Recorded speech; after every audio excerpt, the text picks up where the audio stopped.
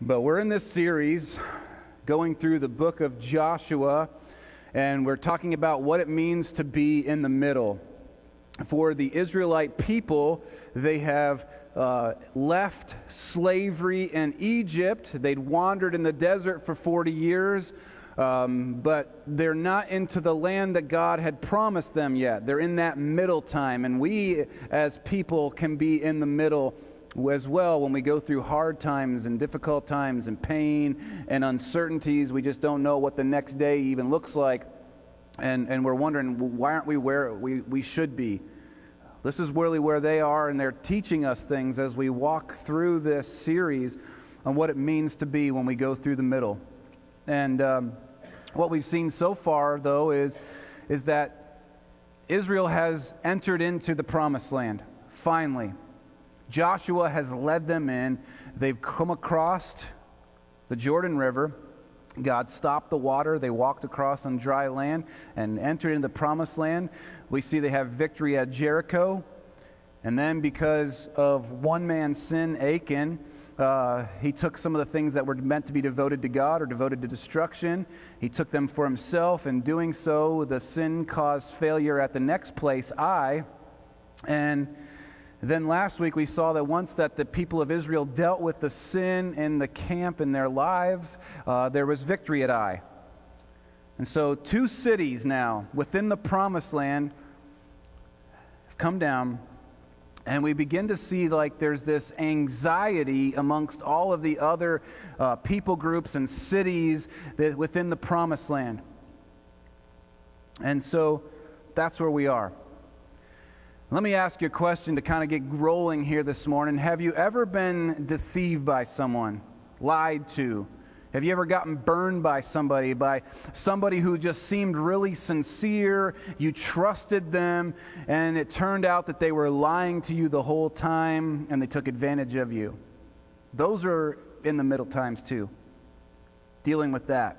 And I think sadly, most of us can relate to that all too easily. We've placed our trust in someone and they offered uh, us their word, and then we've been hurt and disappointed by what happened and as a result of it. Well, the story that we're going to be looking at today from Joshua chapter 9 shows what happens here with Israel when they've been deceived and how they handled this whole situation. So let's just start, and if you have a Bible, we're going to read Joshua 1 or Joshua 9, starting in verse 1. We'll read a little bit. If you don't have a Bible, you can just listen along. but it says in verse 1 as soon as all the kings who were beyond the Jordan in the hill country and in the lowland, all along the coast of the Great Sea toward Lebanon, the Hittites, the Amorites, the Canaanites, the Perizzites, the Hivites, and the Jebusites heard of this, they gathered together as one to fight against Joshua and Israel. So, all of these different groups of people they're like, we, we've seen what they've done. They're coming into the promised land. We, we've heard that God has promised this land to them. They're coming in. And remember, as we talked about way back, uh, these people are people that have, have uh, ignored God, and God is, is judging them now. And they're not, they don't want to turn to Him at all. And so they, they hear that they're coming, so they're like, what we got to do? We got to do something. Let's all band together, and we'll try to stop Israel and see what happens. And, but it, there's one, we're going to see here this in a second. There's one place that decides that's not the plan for me.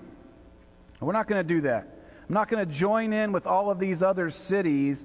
That's not the plan, best plan for us. We're not going to align with all of them because we don't think that's going to work either. So what we're going to do is, is these people, they're called the Gibeonites. They try this different plan. And what they try to do is they try to make a treaty, a peace treaty with Israel. They also realize that the Israelites aren't going to make a treaty with them.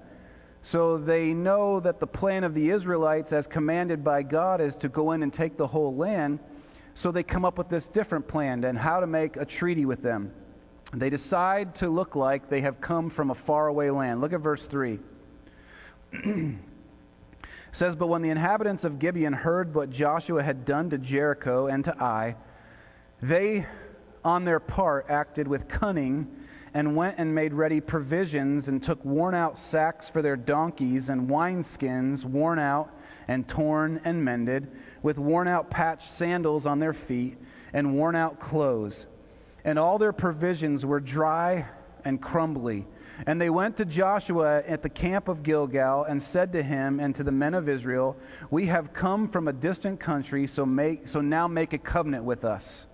So this is what they do. That's their plan to try to trick them into making a treaty with them.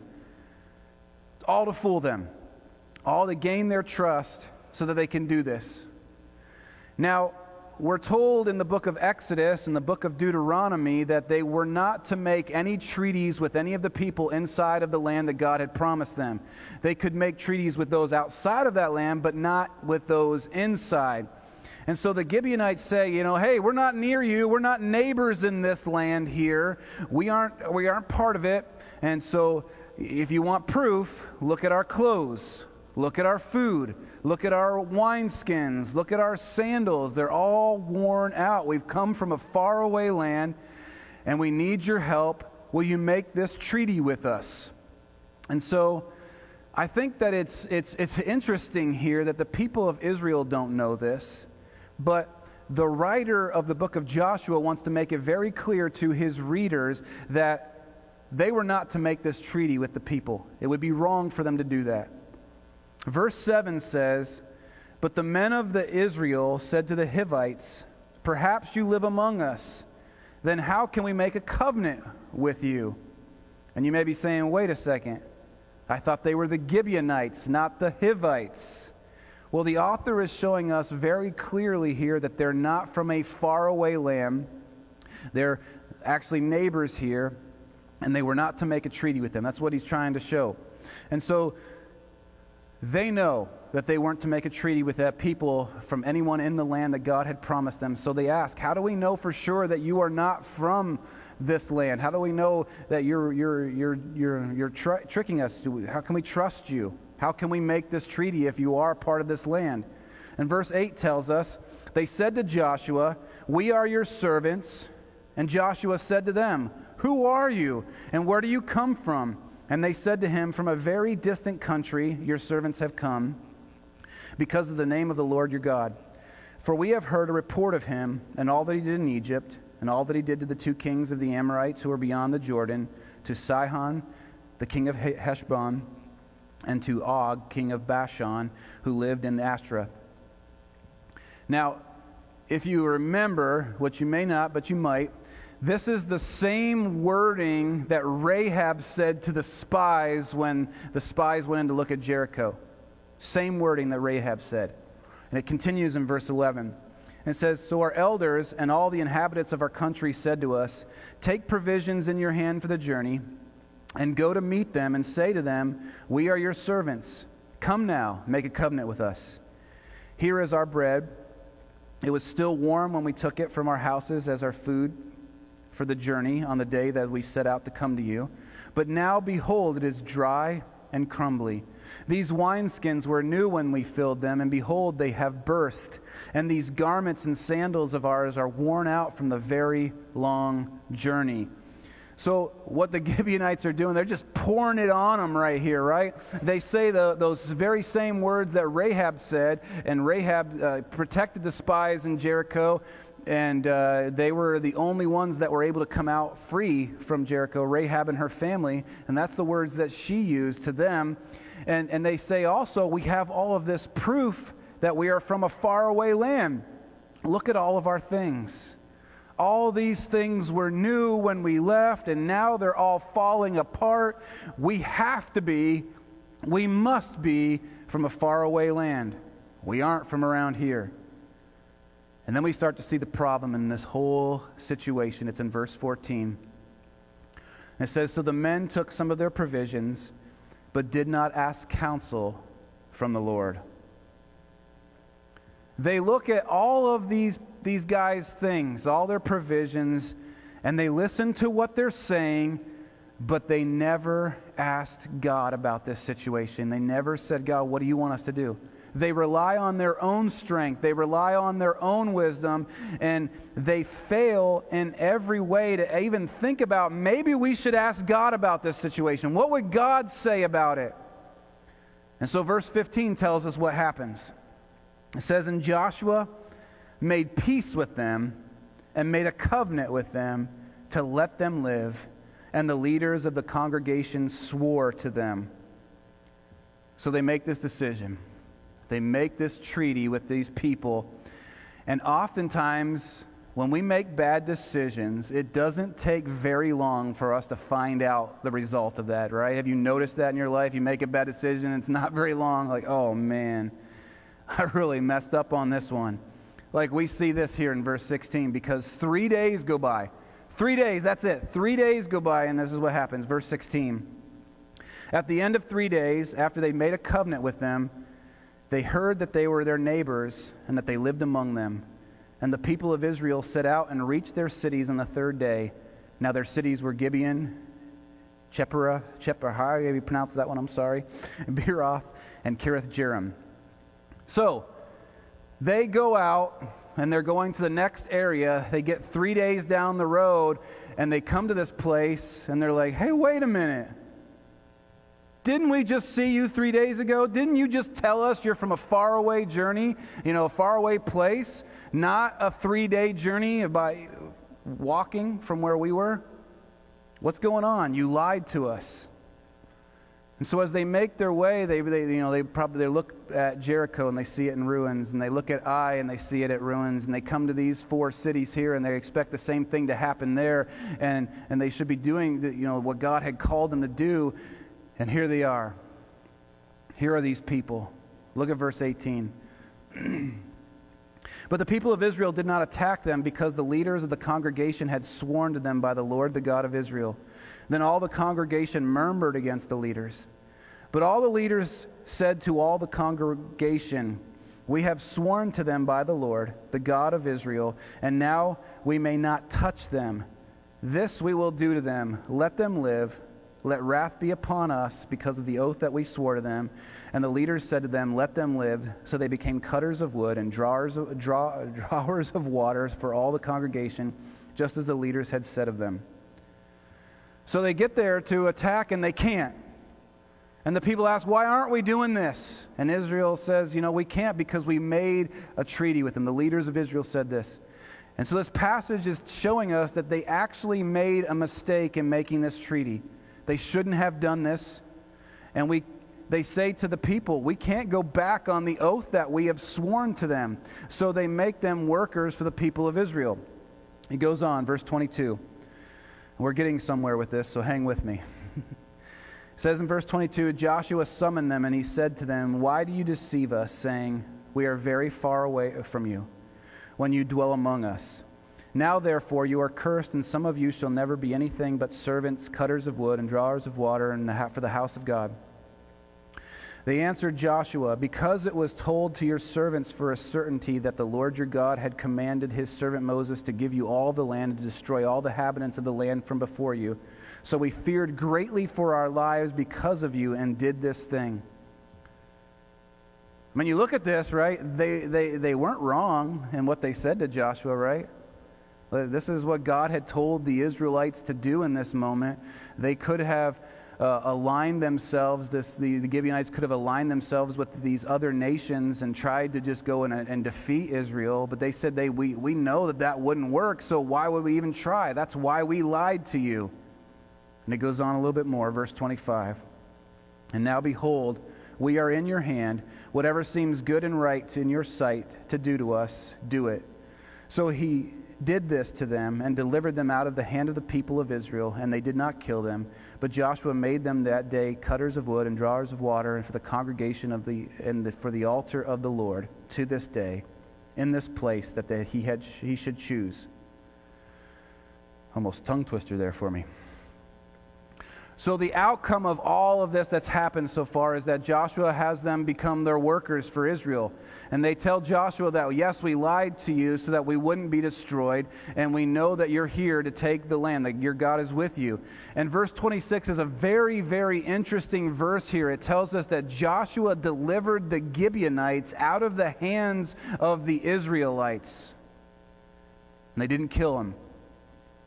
Like, what is this teaching the people? What's important about this whole passage here? What's the message for us even today? Like, what is God saying?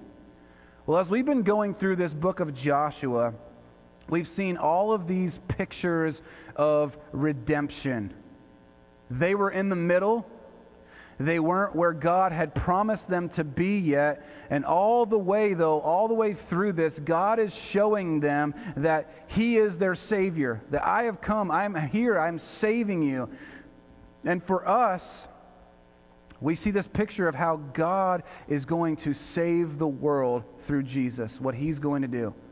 And the thing that God is trying to show His people is, is the, the danger here of judging by what you see. Like judging things by what you see. When you look at this story here, what happened with the Israelite people, everything that the Gibeonites do sounds right, it looks right, it feels right. And so they're, they're, they're listening to all this. They don't just come to the Israelite people and say, hey, we're from a faraway place, so will you sign this treaty with us? And Israelites, okay, cool, let's sign it. That's not what happens here. Israel was very uncertain about this whole situation. We don't really believe that you're from a faraway land, and so you've got to prove it to us. How do we know? And the Gibeonites give them all of this proof that they're from a faraway land. They look at our clothes, look at our food. And we need to understand here that this is that, that as uncertain as the Israelite people were with this situation, and even though they questioned uh, where the Gibeonites were from and what they were saying to them, they still end up making the wrong decision in this moment. They still don't do what God had commanded them to do. And so when we look at this, you know, in our lives, there's things that can look right, that can sound right, and can seem right, and still be completely and totally wrong. And we're really good at making decisions in our lives only by what we see. That's the wrong thing that the Israelites do here. They make the decision only by what they can see. And we can think about some of the, the decisions that we have made in our lives that at the time it seemed right, it felt right, it sounded right, and it was completely wrong. When we were first married, we had one of our cars go into the shop. It was going to have major repairs. It was going to be there for a couple of months or three months, four months, something like that. It was going to take a while. Needed to order parts and all of these things. But that was okay because we had another car. But on the way home from taking that car to the mechanic, we had a bad snowstorm all that morning. And I was going around a turn at about 25 miles per hour, going as slow as I could. And that snow and ice just shot me and spun me right into a guardrail, and I totaled our other vehicle. Just like that, we're without the vehicle. Nothing. And to make a long story short, uh, somebody we had we didn't even know called me up in my office one day and said, "Hey, I hear you need a vehicle. Uh, I've got one for you. I want to give to you." We're like, "Okay, sweet, awesome." And so we get gifted this beautiful Lexus car. I mean, it looked blue when you were looking at it, but it had this special paint that when the sun hit on it, it was actually a sparkly green. It was this amazing car. We loved that car. It was so easy to drive. It was, it was fun. And so we had it for the first couple years we were married. And uh, then we moved to Alaska, Fly In Village. The only way to get your vehicle from where we were in Pennsylvania there was on a barge. So we decided we didn't want to spend that, and they had a vehicle for us, so we decided we'd sell that car. We loved that car. It was so hard to say goodbye to it, but we did, and we went to Alaska. And we were in that fly-in village for a while, and we came back to Pennsylvania for a short time before we were going to go to Tok, Alaska, where we were for six years. And in that short amount of time, we wanted a vehicle. So we started looking for a vehicle, and we found another one, a Lexus, for sale in our price range. We're like, well, we love that one so much. Let's go take a look at this. And so we listened to what the guy had to say and we looked at the car and we thought, okay, this must be a good thing. It's, he says it's good. He's selling us all these things about it. And so we're going to get it. We buy this car and it was the worst car we ever had. I mean, we listened to this guy and he told us all these things. We thought, all right, it's going to be fun. It was horrible. We put so much money into that car. I hated that car. As much as I loved that first one we were gifted, I hated that second one that we bought. and it just all fell apart. We were duped by what the, we, we saw and all of that, and we had to live with it. You know, and, and those things come back to bite us sometimes, and it happens quickly. And there are things that at times they seem right at the moment, it seems like it's the right decision, and it must be the right way to go, and it turns out completely wrong for us. And what God wants and what He's always trying to do He's trying to walk us through and teach us what we need to make a spiritual consideration about our decisions, about not making decisions by what sounds right and seems right all the time. One of the things that's hard for us is not to judge by what we see in our lives and not making decisions based just on the fleshly desires because it's hard for us not to believe what the writer of Proverbs says here. You see it on here. It's Proverbs 14 12. There's a way that seems right to a man, but at the end, that way is death. For a lot of us, that's really hard for us to accept. We don't want to listen to that. I want to think that my wisdom and my judgment and my way of thinking is right. I want to believe that a lot of times. And God is over and over and over again coming to us and saying, Your natural way of thinking will lead to spiritual death. Don't always go by what you see. Don't go by what seems right. Our senses and our flesh can lead the wrong way. And so we're in a war between the spirit and the flesh. And often what we think is right is totally wrong. We've all could say that that's happened in our lives before. Sometimes the things that sound right are the wrong thing to do. And anytime we, I mean, you think about it this way, you could think about anytime we use our anger and our logic and our reasoning, we think we're doing it right. We think that it was a right display of emotions in that moment, that we're, we're vindicated because by our, even though we were in anger, by blowing up at someone because I was right in that situation. And even though we have every excuse and reason for us to blow up at somebody, it may not be the right thing. And what God wants us to know, it's something that He tells us over and over and over again is don't use your heart or your logic or your minds as simply the basis for your decisions. Don't just use those things. There needs to be another basis. And it's not simply by what you see in life, it's not by, you know, what you think is right or seems right or feels right. And the big problem that we see here is that the Israelites just don't ask for God's direction. They just don't ask for it. They sampled the Gibeonites' provisions what did they do? They used what they saw, and it seemed right to them. That's failure one. Failure two is they never asked God. Why didn't they ask for God's direction? Why, why didn't they ask God what to do in this situation? What is your plan? What is your will in this situation, God? Why didn't they do that? And I, I want us to think for a moment here about this. Why don't we choose to ask God for His direction? Why don't we do it?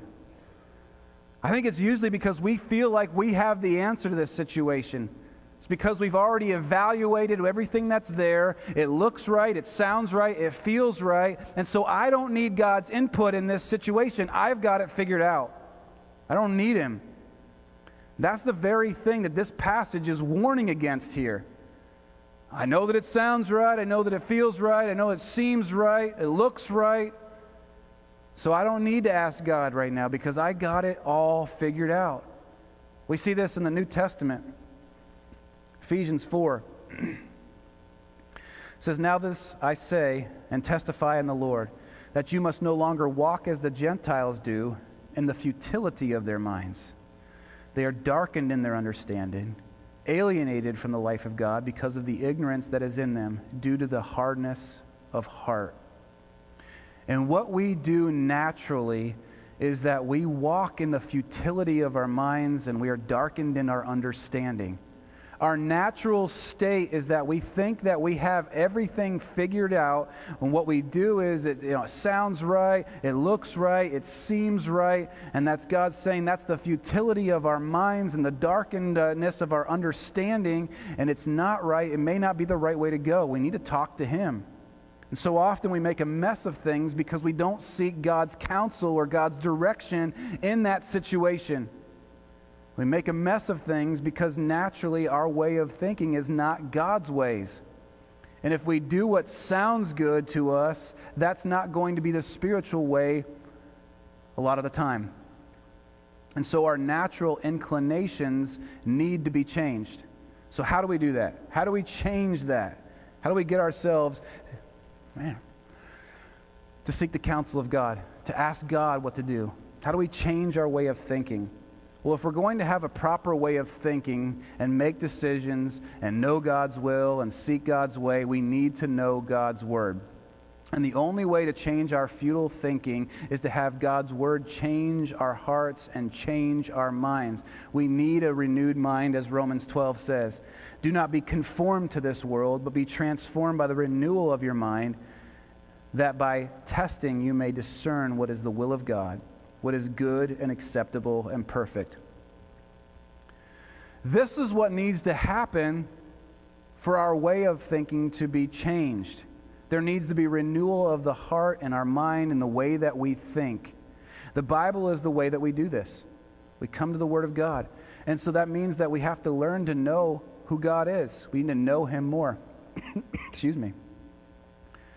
And it's disappointing how often God's word can simply pre- be presented as a list of instructions for us, like a bunch of do this and don't do that. And the reason why is you're going to encounter a lot of decisions in your life that you're not going to be able to open up the Bible per se and say, you know, what am I going to do in this moment? Like, should I move to Pennsylvania? Should I buy this car? Are we going to find the answer specifically for that in the Bible? That's not what God's word is about, right? What we learn, oh, excuse me, choking on myself there.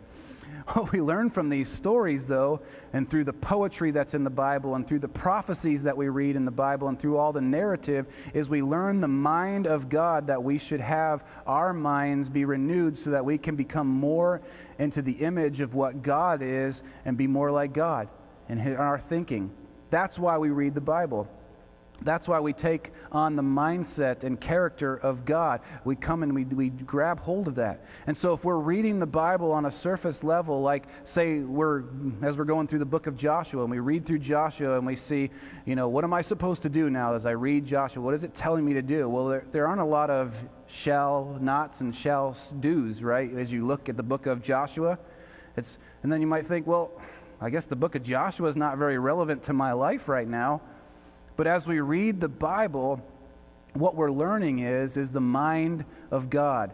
We're learning the ways of God. And it's important for us to come to the Bible in such a way that we're learning about God's character, about God's ways and what he's like. And then we're adopting those to ourselves that where we're able to consult God in that. Like we come to the Bible so that we can come to know Him more. And then we also, excuse me, need to talk to God more in prayer.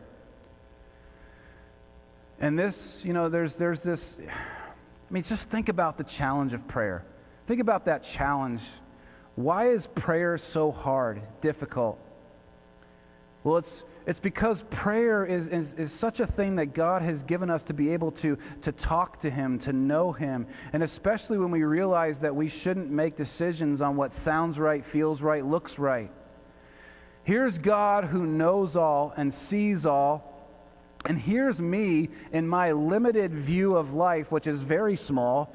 And I have the Almighty God who knows all things from the beginning to the end. And God is saying to us, Come to me. Talk to me about these things. Why don't we come to Him more in prayer like that? Well, part of it is, is that prayer requires believing God is actively answering prayers. Do we believe that God is active in our world and actively answering prayers? Do we believe that? Look at Revelation chapter 8. Says, When the Lamb opened the seventh seal, there was silence in heaven for about a half an hour. And then I saw the seven angels who stand before God, and seven trumpets were given to them. And another angel came and stood at the altar with a golden censer, and he was given much incense to offer with the prayers of all the saints on the golden altar before the throne. And the smoke of the incense with the prayers of the saints rose before God from the hand of the angel. Now, when you read the book of Revelation, there is a lot of imagery and symbolism in the book of Revelation. And, and maybe, I hope you see the, the imagery here in this, this little passage right here. The smoke of the incense was given as a symbol of the prayer of God's people entering into the throne room of God. Now, when you think about the, the, the tabernacle from the Old Testament, they had that, right? The altar of incense was right before the most holy place and the smoke would go into the, to that room. But here in Revelation, we see that this is a picture of the prayer of God's people coming before the throne room of God. And that the prayers of God's people just don't simply hit the ceiling like when we're in a room, right? And then they're only there for our therapeutic good. But God Himself, as we see this and read this, is receiving the prayers of God's people into His throne room. And it goes on in verse 5. It says, Then the angel took the censer and filled it with fire from the altar and threw it on the earth. And there were peals of thunder, rumblings, flashes of lightning, and an earthquake.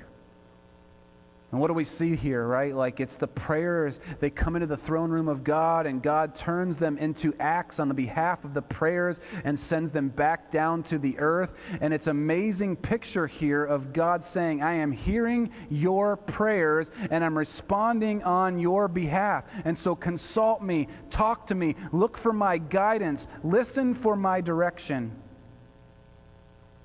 And when I think about the problem of prayer, I believe that self sufficiency is really the death of prayer life. Self sufficiency, that's what kills it. it's when I stop becoming self sufficient in my own life that I'm going to pray more and I'm going to seek God more in my life.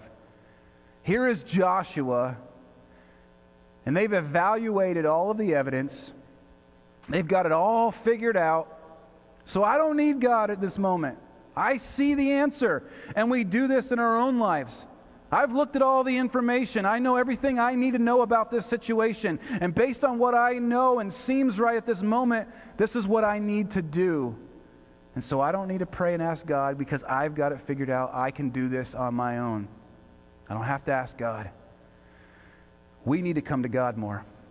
We need to come to God more. Talking to Him about what's going on in our lives and, like, God, is this the plan? Should I do this? Is this right? And many times we come before God and we try to get God to validate what we're already doing, the decisions that we've already made. Like, I've already made up my mind to do this, so God bless it. Make sure it's okay. Go back to verse 14, Joshua 9. It's the key to all this, right? So the men took some of the provisions, but did not ask counsel from the Lord. One of the most important things that we can do in this life is to go to God and ask Him for help. Like, God, what are you saying? What do you want to do? What is the direction here? Um, God, give me strength in this moment. Give me guidance here through this situation. And it's an amazing thing that God has offered his people. The main reason that we don't take advantage of it, though, is because we are self sufficient. We can do it on our own. We don't need anybody else's help. It looks right. It sounds right. It seems right. So I don't have to ask God. And here in Joshua 9, that's the big failure. And so, what happens when we fail at this? Well, when you make a poor decision, you've got to act with integrity. When I make poor decisions, I need to act with integrity. Joshua's covenant with Gibeon wasn't this light, simple agreement. It was actually a covenant. It was like a vow. It was a promise that was made in the name of God Most High. And so going back on this covenant was a far graver mistake than just being deceived by these people and making this poor decision. The key here is to live with integrity, do what is right. Sometimes that means reversing a decision stopping what we're doing at that moment and now because we now recognize that it's wrong and turn from that. I don't read in this story that we can never put things in reverse and change a poor decision. In fact, where it is possible, I think that is the very best option we have. But other times, it means that we've made a commitment, we've signed a contract, we've agreed to a deal, and we stick with it, even if something better comes along. So we drove that old Lexus that we hated for a few years. uh, next thing we do is we trust God to work things for the best. We've talked a lot about this as we've gone through Joshua, but I want to just say it again.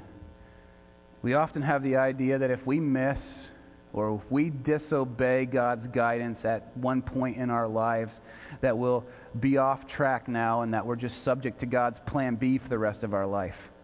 We feel like God had this wonderful plan for our lives, but we missed all the clues to go down that way, and so we're going to stagger about in misery for the rest of our lives and only know God's second best. I don't believe that to be true. I know people have made the wrong decision, and God has worked out and, and, and through that decision in, in their lives. We see Him faithful in that. See, God is there to redeem those decisions, to make something beautiful out of them, to continue to love and to restore and to bring blessing and wholeness even when we've made the wrong choice. And of course, God wants to guide us and direct us to make the best decisions in our lives and the best choices. But even when we don't do that, He is still with us, walking with us, and desiring to guide us in that situation. Now, there are difficult consequences when we make the wrong decision. That happens. We later realize that that wasn't the best choice, but that never means that God is going to abandon us, to give up on us. He continues to guide us in a new set of circumstances that we have in our lives. He continues to offer forgiveness and redemption. And sometimes that's the power to change and set things right. Sometimes that's the power to live with that decision that we've made in our lives. And sometimes something beautiful comes out of that. And that's what he wants to do is to make something beautiful out of that. And so to end this morning, I want us just to notice in this story that we haven't really hit on too much yet, just the redemptive picture of Jesus in all of this whole story. Even though there's this redemptive picture and this scene here in this passage, we need to understand that the Israelites were not supposed to make this uh, alliance, this treaty with this group of people. But even though even through that, there's this amazing redemptive picture. And what we see here is a people who had no right to belong to the community of Israel. They were, they were sinners, they were evil, they were, they were not following God, they didn't even look to God. They were supposed to be destroyed because of their wickedness, and yet they are saved by Joshua. It's, the, it's got this amazing wording here, right? Joshua would save them from the hand of the Israelites. Why word it like that except to give it this redemptive picture, this beautiful picture here? Here's God saving outsiders who needed rescue. They plead for rescue, and God saves them. This is one of the greatest themes that we see in the Bible. And when we read about the Gibeonites, and what they say and what they do. You know, it's, it's a lot about, uh, similar to what Rahab had said, and Rahab was saved from Jericho from, um, because of her words and all her actions. And the Gibeonites should die under the wrath of God. That's us, right? We deserve that. We shouldn't belong. We should absolutely be destroyed because of our sins. Yet, these people find salvation. These people are servants for the house of the Lord. What a picture here. It's a beautiful picture of God saving and rescuing people. Here he is, again, rescuing people. And this is what he wants to do. This is what he has done through his other Joshua, Jesus, right? He has saved us. What we celebrated there this morning during communion.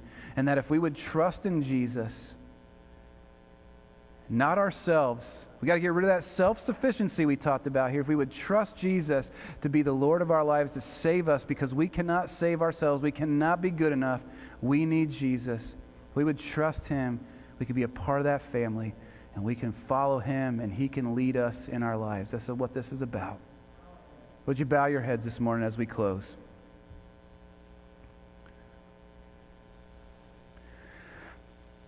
I don't know where you are exactly in your life.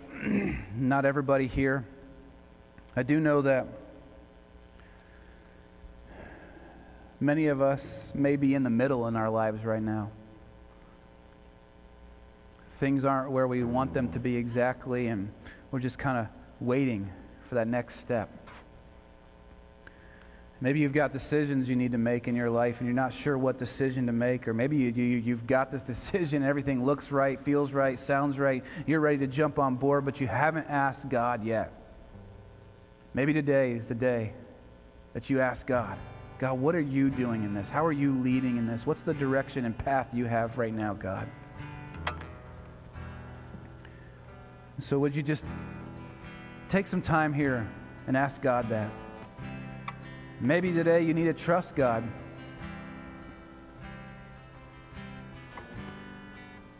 Say, I'm going to trust you. I'm going to follow you with my life, Lord God. Whatever, it's, whatever you say, I know you are a God who loves and rescues, and so would you rescue me in this moment?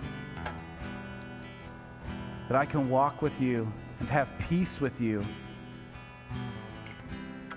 Maybe you've made a wrong decision. Would you trust today that God will make that right as you follow Him? How is He leading you in this situation? So, those are our options this morning. And as our musicians play, would you take those before God and prayer? You're welcome to come down to the altar and pray. You're welcome to pray at your seat. But would you just take some time to ask God those?